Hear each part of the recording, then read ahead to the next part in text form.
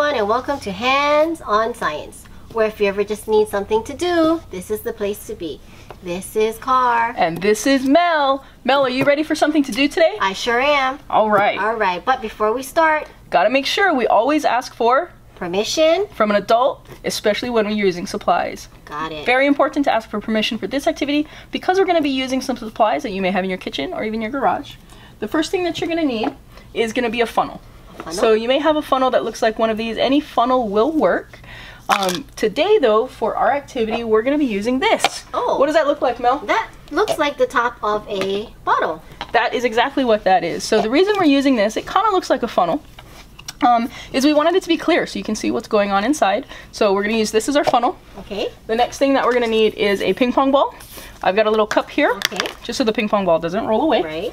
And the last thing we're going to need is a bit uh, of tubing like this. Again, we're using clear so you can see there's no tricks um, or anything involved. So Okay. the first thing that we're going to do, Mel, is I'm going to ask you to hold on to this ping pong ball. Okay. And I want you to kind of guess, how heavy do you think that ping pong ball is? Is it very heavy at all? It's not even heavy. It's really, really light. like Really light. You, Yeah. you know you're holding something, but it's not weighing you down, right? Right. Okay, so I'm going to take your ping pong ball. Okay. And I'm going to give you one end of this tubing, and I'm going to hold the other end here. okay. And what I am going to do is I'm going to balance this ball onto the end of the tubing. Okay. Okay.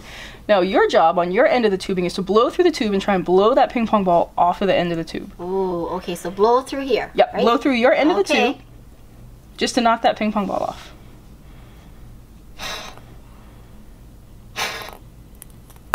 Was that a hard task? Mm, a little. A little hard, but you were still able to Yes. accomplish it, right? Yes. Okay. So here's the next step. We're gonna take our makeshift soda bottle funnel and I'm gonna push it onto the end of this tube. Okay. like that. Okay, and then I'm gonna take the ping pong ball and I'm gonna put it into our makeshift funnel. Now, Ah. you are able to take the ping pong ball and blow through the tube and blow it off the end of the tube. Yes. Do you think you can blow it out of the funnel? I can try. I think you should try. All right. Let's try.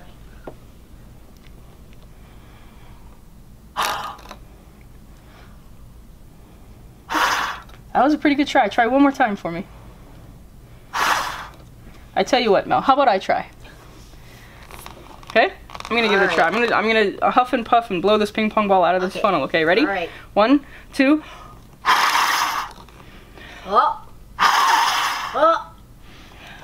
Well, Mel, I have a confession to make. I actually kind of tricked you. Uh oh. So, what happens here is if you have you been in an airplane? Yes. Every, a lot of people have been in an airplane. So, similarly to how airplanes create lift when they mm-hmm. take off, mm-hmm. is what's happening in here. The ah. air that we're blowing under the ping pong ball is mm-hmm. creating this fast moving air under it.